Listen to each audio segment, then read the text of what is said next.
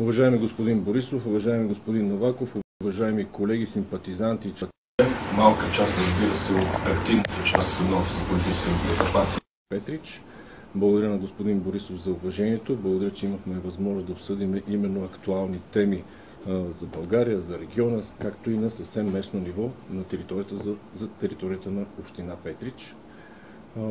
Колеги, нашата среща е регулярна среща, която да се обсъдят именно казусите, свързани с местното управление, казусите, свързани с националното управление в държавата.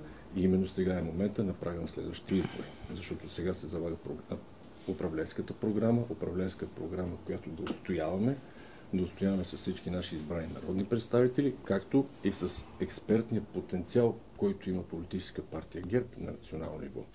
Смятаме, че имаме достатъчно опит, смятаме, че имаме достатъчно обратна връзка от страна на структурите по населени места, които между другото в момента съм спокойно, мога да кажа, че сме най-организираната партия, така че да имаме и необходимата критика, и необходимите корекции, но и, но и определените решения, които да изведат България от кризата, която се намираме в момента. Показахме, много е важно, че може да бъдем изключително диалогични, което е много важно и политическата система в момента го налага. Направихме необходимите отстъпки през този период. Голяма част от тях не бяха оценени, но важното е, че влизаме в тези избори с най-висока електорална подкрепа. Аз благодаря още един път на всеки един, който е бил частен и дава всичко възможно като добавена стойност, именно за да може да изградиме правилните решения, правилната стратегия и за управление. А, тогава, а до тогава влизаме на тези избори изключително един. Благодаря ви, господин Борисов, още един път. То не на мен, на партията и на вас трябва да се благодари. Стойко беше депутат от Петрич, имаше от Сандански, имаше от почти целия регион. Така че в тази област сме правили много и хората го оцениха. Да говорим за Благоевград, където няма несаниран блок, се вика. Тази програма за санирането на блоковете, за съжаление, умря а това беше най-хубавата, най-точната, най-близка до хората, най-контролираната от хората социална политика. Защото домакините седяха и гледаха всеки ден как се строи. От хиляди блокове, които санирахме, за два-три имаше нещо проблемно, което разбира се беше отстранено. Но сега като минеш покрай Благоевград, все едно нов град виждаш. Разбира се, докато дойда ми, беше тъжно. Гледах мостовете, тунелите, които абсолютно готови. Стоят абсолютно блокирано всичко по магистрала Струна. Колони с часове. Мъка през кресна. Две години застой. Това са фактите. Това са безспорните факти, които ни донесе промяната. И затова съм убеден, че хората все повече искат да видят ГЕРБ в управлението, разбира се променени, разбира се отчели грешките си. И мисля, че организациите на много места направиха и промени и правиме промени. Ако имате въпроси, сигурно имате. Какво са ви казали? Какви са, какъв е коментарът ви за служебно правителство на президента Радев? Както и един допълнителен въпрос, президента разкритикува няколко пъти всички партии, че са блокирали от отговорността да формират правителство. Как отговаря политическа партия ГЕРБ? Мога да кажа, че последното беше от всичките най-добре работещо правителство, което имаше. Сега вярно, много от хората там ги познавам. Те бяха на по-низки позиции по време на нашето управление, но бяха много добри професионалисти. Като започна от Гълъб Донев, той е изключително прагматичен, умерен, дисциплиниран човек, който си върши работа. Такъв е бил години наред при нас. Русица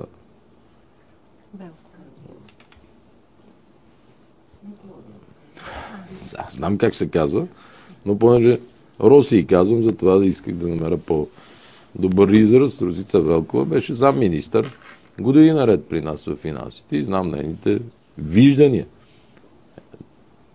И различни други, които на определени места работят. И те, между другото, бяха от най-добрите министри. Разбира се, имаме към някои от тях големи забележки, но след като влизам в втория ви въпрос, партиите реално абдикираха от управлението. Вие дори, понеже за... не говоря за вас, защото, между другото, много от вас знаят, но не смеят или не им дават да питат, или ако питат им отговорят, не го пускат. Вие, когато претендираха да България за третия мандат, Христо Иванов в панорама каза, че аз му мисля лошото, като искам той като премьер да излезе и да каже. Ние, ако ни се мандат, аз там прием, поемам отговорност, правя всичко това.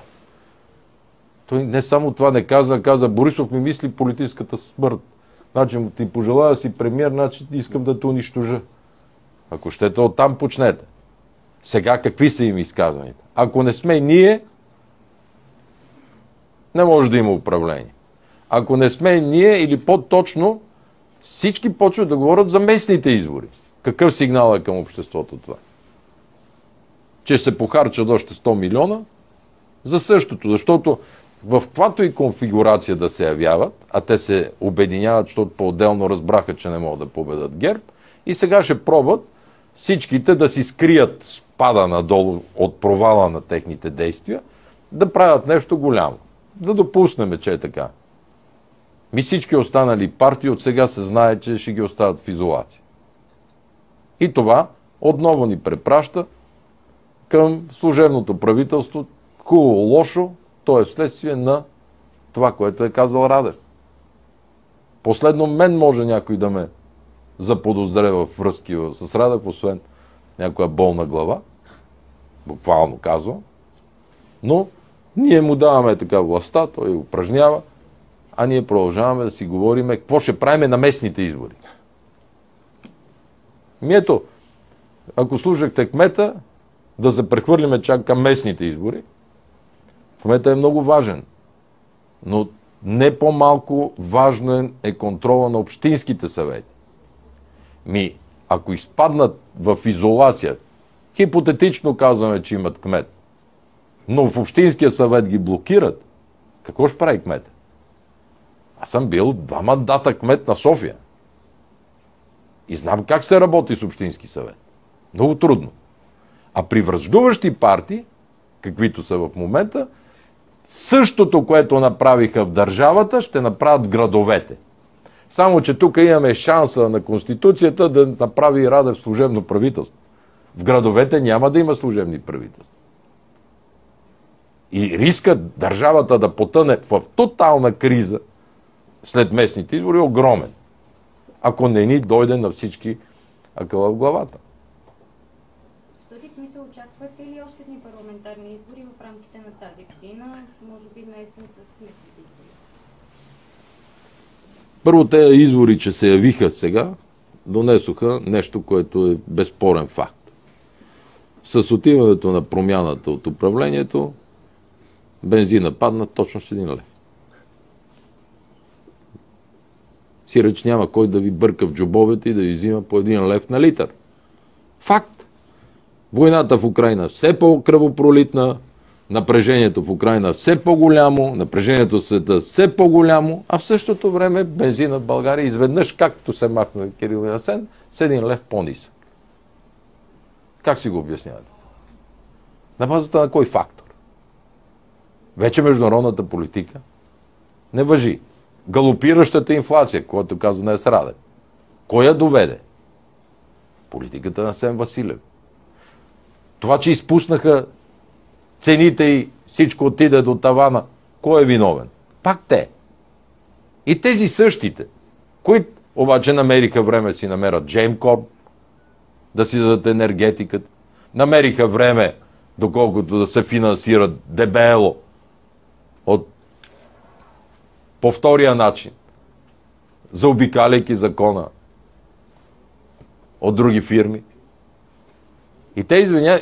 извиняйте, вие не им зададете въпроса, като вие сте добрите, ако сте примерно 600, 700, 800 хиляди, Другите партии, които ще изкарат 2 милиона общо заедно, лошите българи ли ще бъдат? Те как делат хората, ако щете? Кои са другите партии, господин Борисов, с кои бихте се коалирали? Какви са...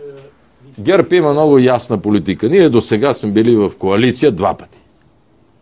Веднъж с Да България, тогава бяха реформаторски блок, и веднъж сме били с Патриотичен фронт. Защото с такива партии имаме сечения. Партията не реагира добре, дори за БСП да се разговаря с тях. Да, аз отидох, защото съм джентълмен. Но партията няма да реагира добре, ако се мине в подобен тип разговори с БСП, с ДПС и така нататък. Само, че в един момент ще останат, не знам как ще се казват ПП и ДБ, в изолация. Дали първи или втори няма значение. Те ще си в изолация от всички останали партии. И отново ще почне едно протакане на първия мандат, на втория мандат, третия мандат. Това им е заявката. И те за това не изпускат изказване да кажат, ние мислиме за местните избори. Готови ли сте на компромис за разговор с тях? Аз компромиси съм правил много. И разговарям с всички, както виждате. И разговарям с всички. Да, България и партията на промяната са били в коалиция. Имали са вице-премьер от БСП. Но сега, понеже страха им е да не би нещо да се направи, изведнъж БСП им стана лоша. Аз ето днес декларирам. Ние няма да се коалираме с БСП. Същата декларация обаче да направят Кирил, Асен и Христо Иванов. И ще видите колко са лицемерни. Защото ако им стигат с БСП, те пак ще направят коалиция с тях. С една дума, когато говорят за нас и ДПС или за възраждане, това е лошо. Но ако с тях е добро, така ли излиза? Очаквате ли подобряване на резултатите на предстоящите извънредни Ами аз мисля, че все повече хора разбраха как са се облагодетелствали по време на тяхното управление. И от газа. Вие ще видите. Ето, още една новина ще ви дам. Че Газпром няма да обжалва в България това, че преминахме от евро или долари към рубли. Искате ли да се обзаложиме? И да ви кажа ли защо? Защото нямат основани. Продали са си газа на 130% цена. Като отидат на арбитража, какво ще кажат? Една и съща газ, вместо за 100 лева сте я продали за 130 и сега се съдиме с те, където са ги дали. Само по това може да разберете докъде са докарали. Благодарение на тяхната политика ние платихме с 30% по-скъп газ. Пак руската. И затова Газпром отчита рекордни приходи. Лукол също отчита рекордни приходи. Близо 5 милиарда. Защо? Защото по един лев на всеки литър се взимаха. А на някои връщаха по 25 стотинки. Добре ли е, примерно, да от един джоб някой ти вземе един лев и да другия ти пусне 25 стотинки. И ти викаш, и колко те ме подпомагат, ме, те ме подпомагат. Целта ви за изборите да сте първи ли е? Моля? Целта ви за изборите да сте първи ли е? Факта, че те се обединяват, означава, че ние сме първи. Те механично искат да си съберат процентите, за да кажат, ние сме повече от ген. Само, че подобни съшити коалиции с бели конци, защото ПП е вече крайно лява партия. По-лява от БСП. С уж, защото не знам какво им е дясното на колегите от Да България, как ще работят заедно. Ето аз просто действително ви се моля, знам, че няма да ви дадат да питате или да пуснете подобни репортажи. Но е така, много ми е важно журналистите като хора да разберат как ги мамат. Да, участват в измамата, но Поне, дете се вика, за себе си да знаят. С кои очи Христо Иванов гледа Асен Василев, който искаше да отвори бюджета и да ни задължи с милиарди още, и благодарение на мене, на Карадая и на Стефан Янев, визирам партиите, които стоят и парламентарни групи за тях, това не се случи. Ами утре, като са заедно и тръгнат да правят бюджет, как ще го направят? Как ще го направят? Какви ще са? Как, когато Асен Василев дори не влезе, когато се гласува F-16? Или гласува против? Или само трима души гласуваха за ядрените реактори IP-1000 на Уестингхаус? Ние ДПС и Възхода, заедно с Христо Иванов, приехме всичките тези решения. Къде им е общото ми, кажете, в кое? Да махнем Гешев, да сложим Рашко. Да, ние сме категорично за контрол над главния прокурор. Контрол имат над премиера, контрол имат над министрите, контрол имат над кметовете. Само президента ни е царя, фактически, дали? Той е с пълен имунитет. Само, че да смениш Гешев с Рашков ли? Или да направиш такава реформа, която сипайки си розови кристали пиейки шампанско и поръчвайки заря да арестува хората? И няма се съгласа на такава реформа. И забележете, те ги нямаше в залата на тази реформа. Здраве желая. Ти из влака ли дойде? И той върви бавно. Следващия кабинет е невъзможен, така ли, господин Борисов? БСП няма да си говори с... Аз съм категорично ясен в момента.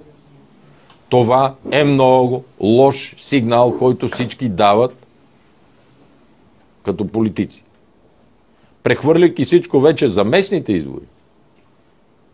И какво стане на местните избори? Стане същото.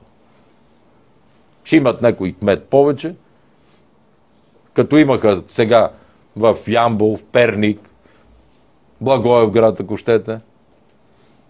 Те всичките искат да работят с нас сега, защото видяха, че две години разруха. Какво ще стане?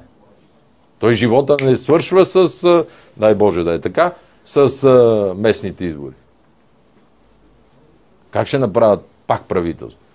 Истината е, че трябва да седнем и аз им предлагам предизборно споразумение по важните теми, за да няма значение после при кой ще отива мандат.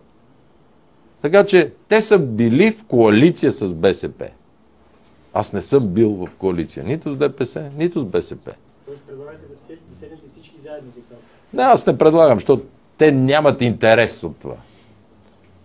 И понеже служебното правителство справя добре, представете си да беше лошо служебно правителство. Просто е, тем щеше всичко да отиде по дяволи. Сега има двама-трима министри, един я го махнаха вече, които не се справят видно, но като цяло върви. Така че е, абсолютно безотговорно. Всички, така както разсъждават, те избори. Ако стане, другите важно е, ако нека да направим кмет, по-нататъка, ние си вървиме реално към президентска република. И ние си имаме президентска република в момента. И народа ще свикне с това. И после на кой се сърдат? На никой. Виновни няма. Те от всяко нещо. Вие представяте ли си? В деня, в който, какви усилия съм положил. Договорих го тогава с Германия, с Франция, с Европейската комисия. Влизането в Европейския банков съюз и чакалнята на еврозоната. Огромен успех на ГЕРБ. Тогава обаче никой не искаше да признае, че това е успех. Тогава никой, напротив, от другата страна булеварда излязоха с юмрука и те същите отиваха клечат там. И сега ми обясняват, че заради ГЕРБ нямало в... Напротив, ние като дойдеме да управляваме след два месеца, ще вземем всички решения, защото знаеме как се прави Европейската комисия е наш партньор. НАТО е наш партньор. Ми ето днеска излезе, пазихме го в тайна два дни, защото бяха и полеви командири, и шефове от Украина. И те хората вече видяха. Вече видяха. Докато управляваше Кирил Петков и Христо Иванов, закон за оръжията за Украина нямаше. Докато управляваха те, се дадоха възможност на фирми частни през със сигурност реализирали печалби, това се казва комисионни, да изнасят горива за Украина. Абе, защо не си приехме? Какво ще да направя аз? И съм сигурен, че колегите ще ме подкрепят. Приемаш закон за пълна помощ за Украина, включително и оръжие, горива и така нататък. Има средства и от Европейската комисия, и от НАТО по темата. Държавния резерв изкупува в базите горивата и ги предоставя директно на Украина. Чисто, бяло. Ми те хората, като ми заразправяха какви какви пребоядисани ракети и чудо са им давали. Ама дай да не говорим да влизам в подробности. Нашите оценяват страшно високо. Нашите младежи поканиха 50 деца на морето изкараха почивка през лято. 100 000 лева партията дарихте всички на младежите на Украина. Изключително се оценява това, което ГЕРБ е направил. Вече не могат да излъжат много хора. Те такива глупости са говорили за нас там, че хората като дойдоха, видяха, но вече бяха подготвени. Бяха попрочели, бяха се подготвили и затова дойдоха. Дойдоха в централата, при нас, където украинското знаме стои от първия ден на войната в централата на ГЕРБ. И посланник каза, да, на всички пресконференции, всичко, което се предава от централата на ГЕРБ, украинското знаме стои. От първия ден на война.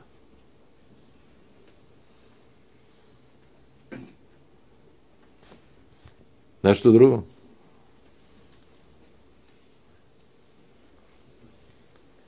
Питайте, бе.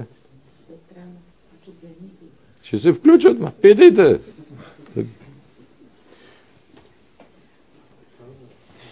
Благодарим, колеги, за уважението. Това е такъв празник за нас, че сте дошли да ни видите. Държавна агенция национална сигурност е събрала достатъчно данни и доказателства за евентуално извършено престъпление, което трябва да бъде установено от българската прокуратура. Знаете, във Временната комисия, освен това, установихме нарушение на Конституцията. Установи се, че Кирил Петков, въпреки доклада на ДАНС, е крил 3 месеца този доклад в чекмеджето си и не го прекрати.